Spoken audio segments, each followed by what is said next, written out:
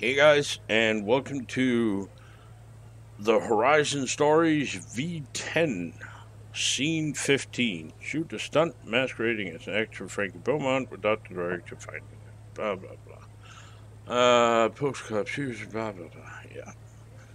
What you need to know is three stars, three minutes. Right. Let's hop to it.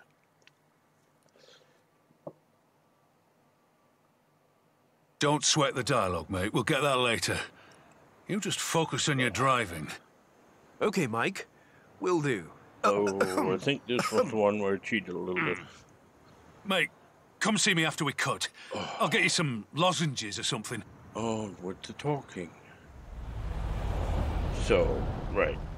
First thing you want to do is, where are you going? So we're going all the way down there. And, well, you can follow the roads.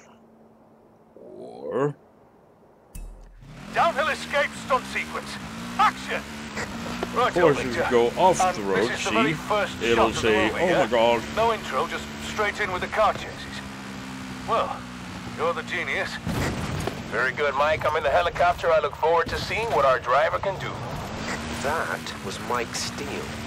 He does the stunt direction while Victor is the overall director. Seems like he bought it. uh, Nate always wants to throw his tail around. And, well, back in the road. Hooray! And there's, of course, all sorts of crap in the way.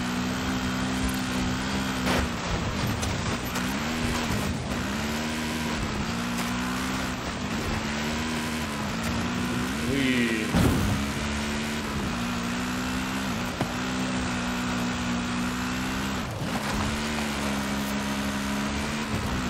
But you uh, you got plenty of time to get back on the road when you do that jumping down the mountainside. And that's it! Cut! Did he buy it? He did. We can make this work.